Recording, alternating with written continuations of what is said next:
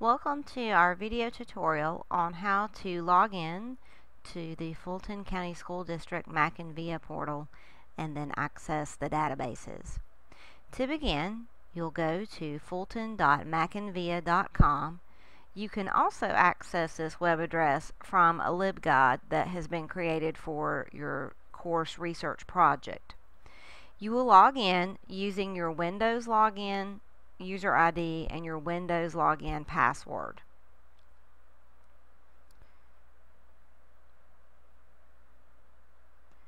Once you log in, you can use the database filter on the left to access the databases that have been loaded into the Mackin portal.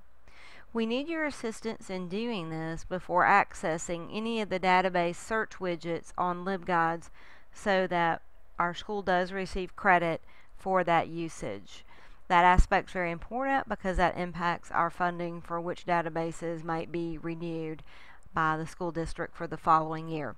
It's also helpful to you because you then don't have to worry about entering passwords to access those databases whether you're on campus or off campus at home.